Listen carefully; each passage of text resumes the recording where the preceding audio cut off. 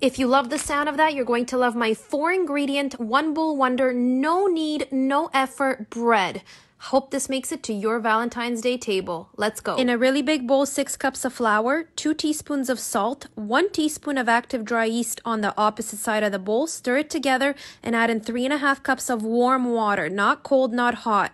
Mix it all up until you have a sticky dough. Cover it and let it rest overnight. I let mine rest in a cold oven. When you wake up, it should quadruple in size. Flour your counter really well. Pour out your dough and flour the top. Just shape it a little bit until it's no longer sticky. No kneading involved involved. Cut your dough into two equal pieces, flour it once again, and make sure that they're no longer sticky. In a baking dish with parchment paper, place your dough balls, lid on, and pop them in a cold oven. Now you can turn on the oven to 450, bake them covered for 30 minutes, then uncovered for another 30 minutes until it looks like this. Enjoy and follow me for more.